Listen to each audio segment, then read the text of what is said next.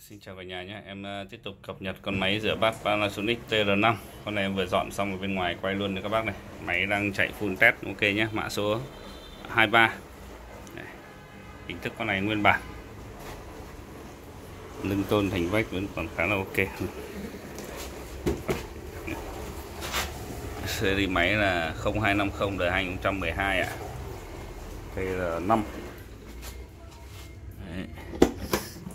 nóng 80 độ. Nghi ngút luôn. Đấy. về máy này thì nó giống nhau hết tất cả các đời để em không giới thiệu nhiều nữa. Báo giá nhanh gọn thôi các bác 3 triệu 2 nhé em bán 3 triệu 2 bảo hành một năm chưa phí vận chuyển chưa Việt Nam ship hàng toàn quốc chưa phí vận chuyển. Phí vận chuyển đi toàn quốc 150 nghìn này. Việt Nam bác nào chưa có mua thì là 500 mua hàng thì hình thức giao dịch là đặt cọc trước 500 nhận hàng kiểm tra đúng hàng thanh toán nốt. À, chào các bác.